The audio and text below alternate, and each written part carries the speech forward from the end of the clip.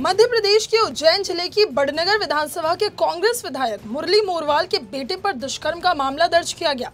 ये मामला इंदौर के महिला थाने में एक युवती ने दर्ज करवाया। युवती ने आरोप लगाया कि शादी का झांसा देकर उसके साथ रेप किया गया।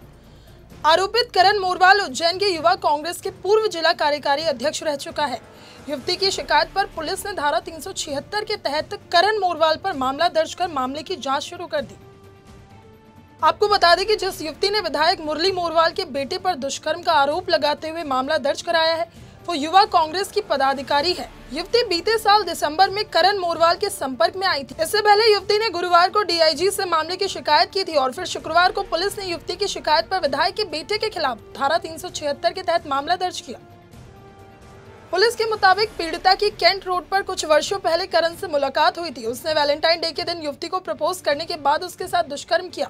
युवती ने दावा किया है कि विधायक के बेटे के साथ बातचीत की रिकॉर्डिंग उसके पास है, जिसमें वह उसे धमकिया दे रहा है। आरोपित अक्सर युवती को विधायक पिता का रोप झाड़ डराता और धमकाता था।